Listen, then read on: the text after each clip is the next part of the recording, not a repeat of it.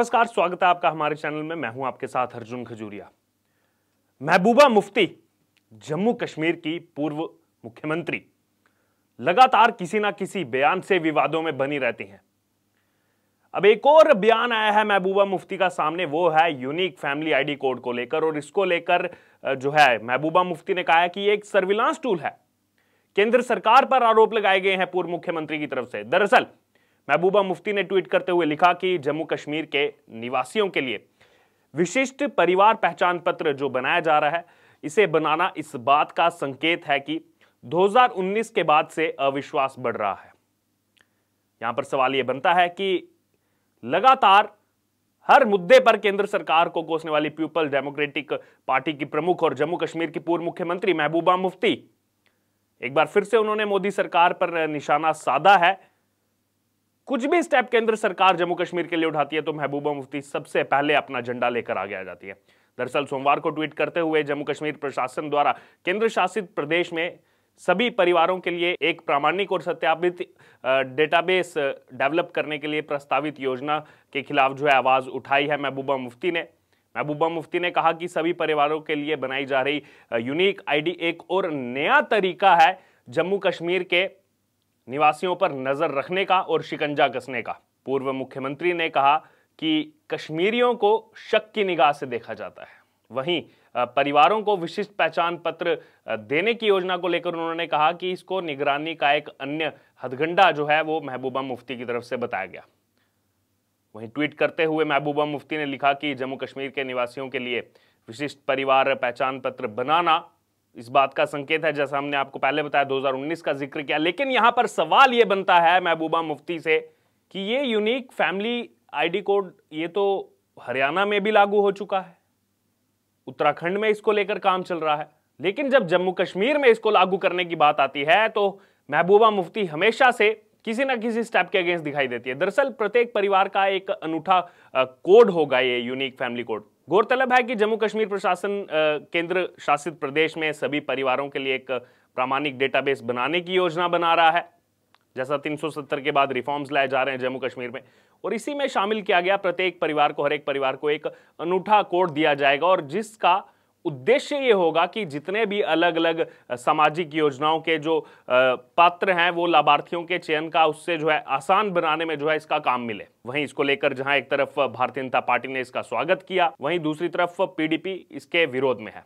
बता दें कि हाल में ही ई गवर्नेंस पर एक राष्ट्रीय सम्मेलन का अनावरण किया गया था, जहाँ पर जम्मू कश्मीर के उपराज्यपाल मनोज सिन्हा और हरियाणा के मुख्यमंत्री मनोहर लाल खट्टर ने डिजिटल जम्मू कश्मीर विजन को लेते हुए, डिजिटल जम्मू कश्मीर विजन के लिए एक डॉक्यूमेंट जारी किया और वहीं इस योजना को लेकर प्रशासन एडमिनिस्ट्रेशन की तरफ़ से कहा गया कि इसका मुख्य उद्देश्य है कि जितनी भी सामाजिक कल्याण की योजनाएँ हैं, उसके पात्र लाभार्थियों को आसानी से मिल सके, आसानी से उनका चयन हो हो सके, इसीलिए इसको लाया जा रहा है। वहीं एक तरफ़ बीजेपी ने जहाँ इसको फैमिली आईडी आवंटित करने के प्रस्तावित कदम का स्वागत किया है, वहीं कुछ अन्य दल इसकी आलोचना करते हुए निजी डेटा सुरक्षा पर चिंता व्यक्त कर रहे हैं। लेकिन इससे पहले, हरियाणा हो या फिर उत्तराखंड हो, जैसा हमने आपको पहले भी बताया, हरियाणा हो, उत्तराखंड हो, वहाँ पर इसी तरह का परिवार पहचान पत्र बन चुका है।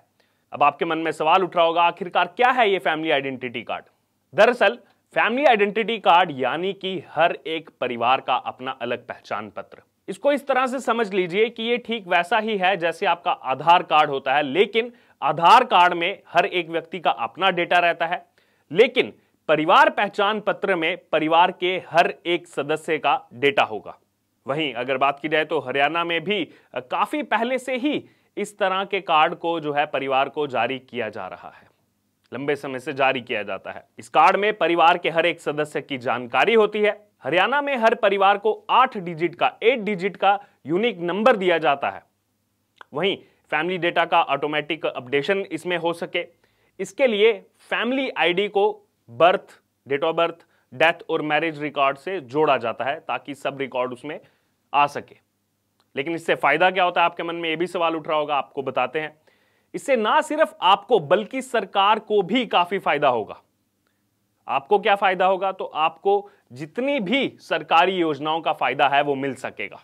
अगर आप उसके लिए एलिजिबल हैं तो आपको उसका फ़ायदा मिलेगा सरकारी योजनाओं का। और वहीं, एक बार फैमिली आईडी कार्ड अगर बन जाता है फैमिली आईडी कार्ड बनने के बाद आपको हर बार अलग अलग अलग योजनाओं का लाभ लेने के लिए अप्लाई नहीं करना होगा। जो पहले अप्लाई करना पड़ता था अलग अलग योजनाओं के लिए, वो आपको नहीं करना पड़ेगा। और वहीं, ना ही बार बार आपको दस्तावेज़ जमा करने होंगे। इतना ही नहीं, इस कार्ड में परिवार की हर जानकारी होगी। इससे आपको जाति, निवास, आय या फिर दिव्यांग आईडी कार्ड अलग से बनाने की ज़रूरत भी नहीं पड़ेगी। वहीं सरकार को इस कदम से यह फ़ायदा होगा कि उसके करोड़ों रुपए बचेंगे। हरियाणा के मुख्यमंत्री मनोहर लाल खट्टर ने बताया था इस फैमिली कार्ड को लेकर कि फैमिली आईडी और आधार कार्ड की वजह से सरकार के 1200 करोड़ रुपए बचे हैं। और वहीं इन सब चीज़ों को वंचित करते हुए महबूबा मुफ्ती का यह बयान आना बेहद निंदनीय है।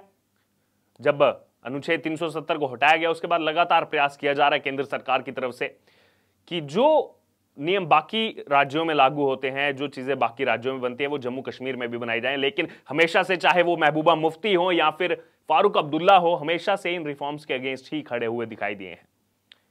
ये वही महबूबा मुफ्ती हैं जो कहती थी कि अनुच्छेद 370 को कोई जो है हाथ नहीं लगा सकता, नहीं तो यहाँ पर तिरंगे को उठाने वाला कोई नहीं रहेगा।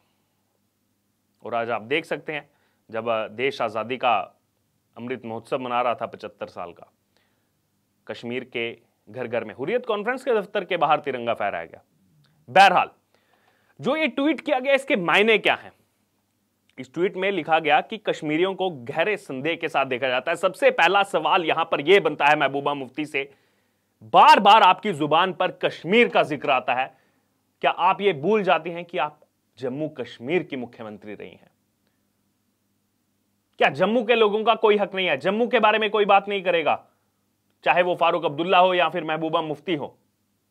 हमेशा से कश्मीरियों की बात की जाती है, लेकिन जम्मू को हमेशा से नजरअंदाज किया जाता है, जम्मू संभाग को नजरअंदाज किया जाता है। तो इस ट्वीट के मायने से भी ये समझा जाए कि क्या सिर्फ़ आपकी राजनीति जो है आपको कश्मीर तक सीमित करनी चाहिए। तो फिर आप क्यों कहती हैं कि मैं जम्मू कश्मीर की तरफ़ से बोल रही हूँ, जब आज आपने इस ट्वीट में कश्मीरियों के लिए कहा कि इनको गहरे संदेह के लिए देखा जाता है, जबकि जो यूनिक फैमिली कार्ड बनाया जाएगा पूरे जम्मू कश्मीर के निवासियों के लिए बनाया जाएगा, ना कि सिर्फ़ कश्मीर के निवासियों के लिए।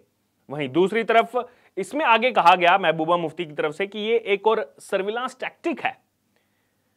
और वहाँ के लोगों पर निगरानी की राजनीति के लिए इसको जो है बनाया जा रहा है। सवाल आपसे यह बनता है, आप यहाँ पर राजनीति कर रहे हैं महबूबा मुफ्ती, इस नाम पर कि लोगों की निगरानी इस कार्ड से की जाएगी। लेकिन जब इसी कश्मीर के अंदर पाकिस्तान से आए हुए आतंकवादी, पाकिस्तान समर्थित आतंकवादी बाहरी प्रदेश के लोगों को अपना निशाना बनाते हैं आर्म फोर्सेस को अपना निशाना बनाते हैं। उस समय कहाँ जाती हैं आपकी संवेदनाएँ?